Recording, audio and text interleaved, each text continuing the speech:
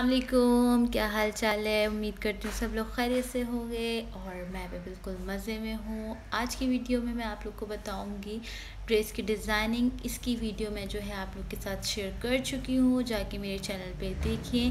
मैंने तीन ड्रेसेस एक साथ बताए थे, उनकी डिज़ाइनिंग बताई थी, उसमें मैंने कहा था, एक मैं आपको स्टिच करते हुए भी दिखाऊँगी। तो चलिए गाइज़ आज मैं वही आपको बता रही हूँ स्टिच करके कि वो किस तरह से स्टिच होना था। किसी को अगर प्रॉब्लम हो रही हो, किसी को समझ ना आया हो तो वो मेरी इस वीडियो को देख सकता है और आगे अपने दर्जी से टेलर से सिलवा सकता है टेंशन की ज़रूरत नहीं है। तो हम सबसे पहले जो है आपको गले और आस्तीन की मैं इसमें बताती जा रही हूँ कि क्या क्या करना है कैसे कैसे लगाना है और मैं लगाते हुए भी आप लोग को बता दूँगी। तो गाइस गाना नाल सुनते रहो अखा नाल देखते रहो। ओ माई अल्लाह क्या पंजाबी बोलिए। इस तरह के मज़ाक होते रहेंगे। इसके बाद मैं आपको बता दूँ कि मैंने बॉर्डर लगाना है नीचे शर्ट के दामन पे।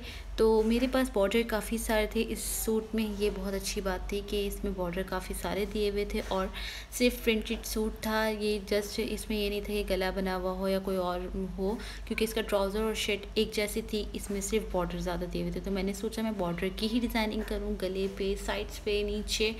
हर जगह पर। तो इसके मैं स्टार्ट करती हूँ और मैं अभी आपको बता रही हूँ कि मैं दामन पे बॉर्डर लगाऊँगी। बॉर्डर को मैं सेंटर लेस के साथ ज्वाइन करूँगी और जो ये मैं साइड की दिखा रही हूँ और से देख लीजिए अच्छी तरह।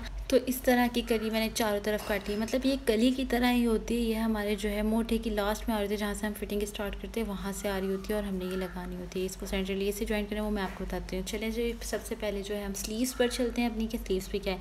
स्लीव्स वही कफ़ वाली हैं। कफ़ वाली बहुत चल रही है। मैं खुद बना बना के थक गई हूँ। खैर, फिर क्या कर सकते हैं? ट्रेंड जैसे ट्रेंड होता है तो फ़ैशन तो फिर फ़ैशन ही होता है। खैर, इसके बाद मैंने क्या करा, जो नीचे कपड़ा लगाया था, उसको थोड़ा सा बाहर निकाल के लगाया तो वो पाइपिंग की तरह हमारा निकल गया और डिज़ाइन का डिज़ाइन हो गया। अब जो हमारे पास ऊपर क्या जो चुनो, चुने डाली हैं, जिस पे कपड़े वो हम एक्स्ट्रा लेते हैं, उसमें चुने डालेंगे और इसके साथ फिक्स कर देंगे। ये हमारी स्लीव्स कंप्लीट तैयार हो गई हैं। अपने गले की तरफ़ चलते गले मैंने जो है काटा हुआ था पहले से। गोल वो मैं आपको दिखा चुकी थी। अच्छा जो मैंने सीधा कट लगाया था, उसके अंदर मैं ये कपड़ा लगा रही हूँ। कपड़ा लगाऊँगी कैसे? मैंने अंदर इसकी फ्यूजन लगाई हुई, बारीक सी स्ट्रिप की तरह हमने लगाना है इस कपड़े को और नीचे से। हमने इसको फिक्स कर देना। इसके बाद हम दूसरी साइड पे इसके लगाएँगे कपड़ा सेम एज इट इज़ ऐसे ही लगाएँगे। जैसे मैं इस साइड पे लगा रही हूँ, और और और से देखते रहें आप लोग किस तरीके से लग रहा है कपड़ा। और किसी को ना समझ आ रहा हो तो कमेंट्स में आके मुझसे पूछ सकता है। मैं स्पेशली इस तरह का गला बनाकर दिखा दूँगी उनको। वाल हम दोनों तरफ़ से लगाएँगे और इसको जब लगा लेंगे तो इसको ज्वाइन कर देंगे। ये आजकल बहुत ज़्यादा इन है गला और स्पेशली जो कहते हैं ना फेवरेट वन ये मेरा भी वही है। मतलब मुझे बहुत अच्छा लगता है गला बनाना भी और बनाकर पहनना भी। ये मैं आपको दिखा दूँगी कैसे लगा है गला, इसको हमने ज्वाइन करना है और इसके बाद हमने ऊपर से वही बारीक पतली अपनी जो नेक है उसको लगाना है। इसके बाद सबसे पहले मैं जो है दामन लगाऊँगी, दामन पर पहले बॉर्डर लगाऊँगी। क्या करूँगी मैंने? पहले जो शर्ट थी उसको सेंटर लेस से ज्वाइन करा है और जो दामन में जो बॉर्डर लगा रही हूँ उसको मैं सेंटर लेस से ज्वाइन करूँगी। यानी कि दोनों जो जिनको ज्वाइन करना है बॉर्डर को और कमीज़ शर्ट को तो वो मैं सेंटर लेस की हेल्प से ज्वाइन कर रही हूँ कि ये एक अच्छा भी लगता है और जोड़ टाइप भी नहीं लगता, जैसे जोड़ लगाओ वैसा भी नहीं लगता। इससे लुक भी बहुत प्यारी आ जाती है।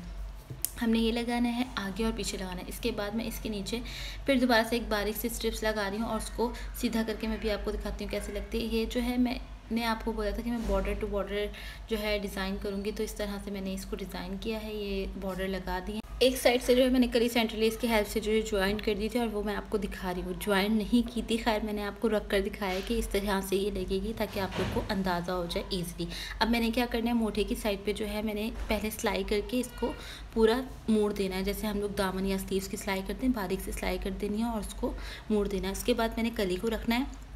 करी में मैं सेंट्रलाइज ज्वाइन कर चुकी थी। उसके बाद जो है मैं जहाँ शर्ट से ज्वाइन करी हूँ, उसमें मैं बॉर्डर लगाकर साथ ज्वाइन करी। इसी तरह से मैं चारों को ज्वाइन करूँगी। इसके बाद मैंने जो है अपनी स्लीव्स लगानी और इसको फिटिंग करना और ये ऑलमोस्ट आप लोग के सामने ही इसमें चौक वगैरह बंद होते हैं। आई होप ये आप लोग को अच्छी लगी होगी। तो लाइक करना तो बनता है और मेरी वीडियो को ज़्यादा से ज़्यादा शेयर करें ताकि मेरे चैनल को सब्सक्राइब करें। आप ही के सपोर्ट से मैं आगे बढ़ सकती हूँ। मिलते हैं नेक्स्ट वीडियो में। अपना खूब सारा ख्याल रखिएगा। मुझे स्पेशली दुआ में याद रखिएगा।